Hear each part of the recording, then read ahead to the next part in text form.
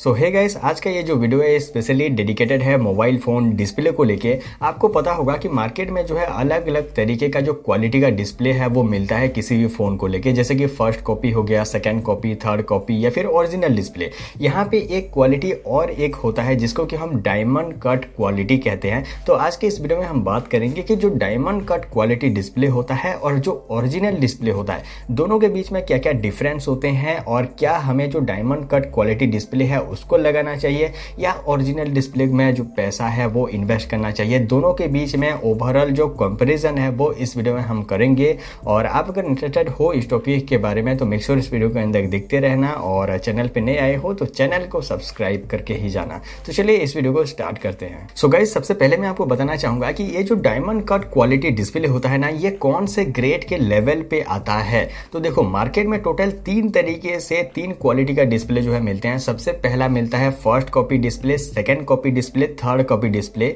यानी जो third copy display होता है, उसे हम नॉर्मल क्वालिटी का डिस्प्ले कहते हैं। जो सेकेंड क्वालिटी का, यानी सेकेंड कॉपी का डिस्प्ले होता है, उसको हम डायमंड कट क्वालिटी डिस्प्ले कहते हैं। और जो फ़र्स्ट कॉपी का डिस्प्ले होता है, उसे हम प्रीमियम क्वालिटी डिस्प्ले या फोल्डर कहते हैं। और इसके अलावा और एक क्वालिटी होता है, जो कि है ओरिजिनल ओरिजिनल के बारे में हम बाद में बात करेंगे बट सबसे पहले हम बात करेंगे कि जो डायमंड कट क्वालिटी डिस्प्ले होता है, या फिर जो सेकेंड कॉपी डिस्प्ले होता है, उसमें क्या क्या कंपेरिजन हम कर सकते हैं ओरिजिनल डिस्प्ले के साथ में। यहाँ पे जो प्रीमियम क्वालिटी डिस्प्ले होता है, जो फ़र्स्ट कॉपी डिस्प्ले होता है, उसके बारे में हम अलग से आपको बताएँगे कि किस तरीके का वहाँ पे जो क्वालिटी है वो मिलता है और प्राइस में कितना डिफरेंस वगैरह होता है। बट अभी हम बात करेंगे जो डायमंड कट क्वालिटी होता है, उसमें कैसा क्वालिटी और ओवरऑल ओरिजिनल के साथ में कितना अच्छा हमें जो डिस्प्ले है वो मिलता है। तो सबसे पहले हम बात करेंगे प्राइस के बारे में। तो देखो, जो ओरिजिनल डिस्प्ले आपको चार हज़ार रुपए में मिलेगा ना, वही सेम आपको डायमंड कट क्वालिटी डिस्प्ले आपको दो हज़ार रुपए में मिलेगा। यानी लगभग आप जो है फिफ्टी परसेंट जो कम दाम के ऊपर में जो डायमंड कट क्वालिटी डिस्प्ले है, उसको ले सकते हो या फिर लगा सकते हो। अभी हम बात करेंगे कि इसमें कलर कंट्रास्ट के ऊपर में क्या क्या डिफरेंस हमें मिलेगा। तो देखो ओवरऑल जो हम बात करें, जो ओरिजिनल डिस्प्ले होता है, उसमें और डायमंड कट क्वालिटी डिस्प्ले में आपको 19-20 का कलर कंट्रास्ट के ऊपर में जो डिफरेंस है, वो देखने को मिलेगा। उसके अलावा और एक सवाल होता है कि अभी के टाइम पे काफ़ी सारे फ़ोन में जो है 60 हर्ट्स पैनल आ रहे हैं 90 हर्ट्स पैनल आ रहे हैं 120 हर्ट्स पैनल आ रहे हैं। तो यहाँ पे जो ओरिजिनल डिस्प्ले आप अगर उस तरीके का लगाते हो तो वहाँ पे आपको 60 हर्ट 90 हर्ट्स 120 हर्ट्स जो भी सारा पहले के टाइम पे जैसे चलता था वैसे सेम चलेगा। बट उसी जगह पे आप अगर डायमंड कट क्वालिटी डिस्प्ले लगाते हो तो भी आपको जो है sixty hertz ninety hertz one hertz का जो रिफ्रेश रेट है वो भी मिलेगा। यानी आपको जो आ, ये होता है ना टच रेस्पॉन्स होता है या फिर जो स्मूथनेस होता है ना, वो आपको बिल्कुल सेम टू सेम मिलेगा।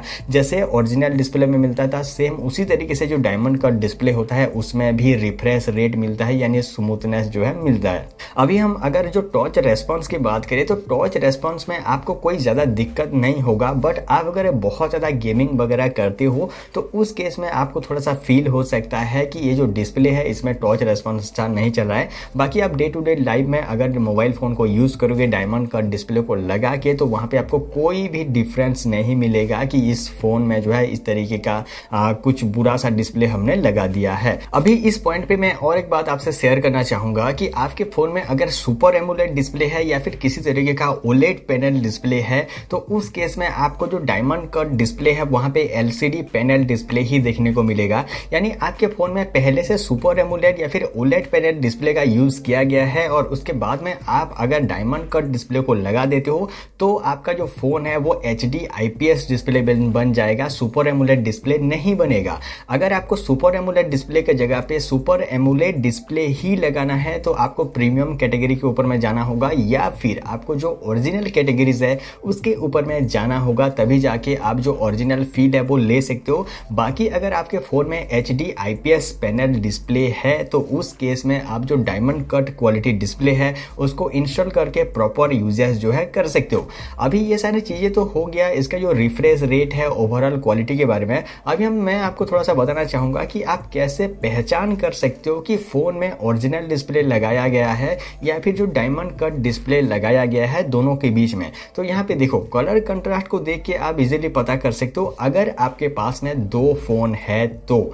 यानी आपके पास में सिर्फ़ और सिर्फ़ एक फ़ोन है और उसमें सिर्फ़ और सिर्फ़ अगर कलर कंट्रास्ट देखोगे तो आप पता नहीं कर सकते कि इस फ़ोन में जो डायमंड कट डिस्प्ले है वो लगाया है या फिर ओरिजिनल डिस्प्ले पहले से लगाया है। तो यहाँ पे हम किस तरीके से फाइंड करें?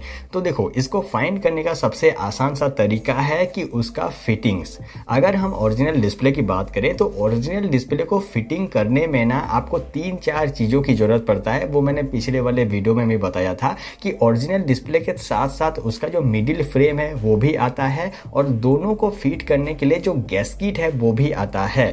और ये तीनों चीज़ों को आप अगर फिटिंग करोगे ना ओरिजिनल डिस्प्ले के साथ साथ तो यहाँ पे जो फिनिशिंग है, वो प्रॉपर फिनिशिंग होता है। और उसी के जगह पे अगर हम जो डायमंड कट क्वालिटी डिस्प्ले है, उसके फिटिंग की बात करें तो उसी के साथ में आपको कुछ भी ऐसा नहीं मिलता है।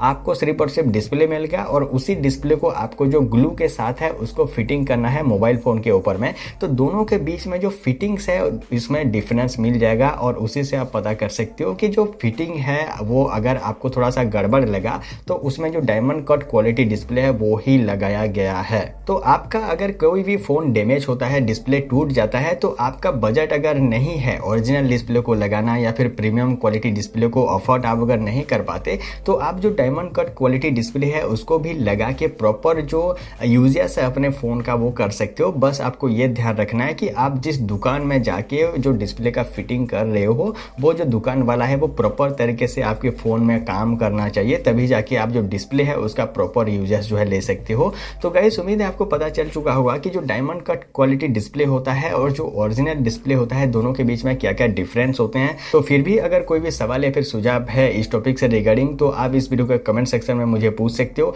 आज के लिए बस इतना ही गाइस मिलते हैं अगले किसी इंटरेस्टिंग सा वीडियो में। तब तक के लिए thank for watching guys thank you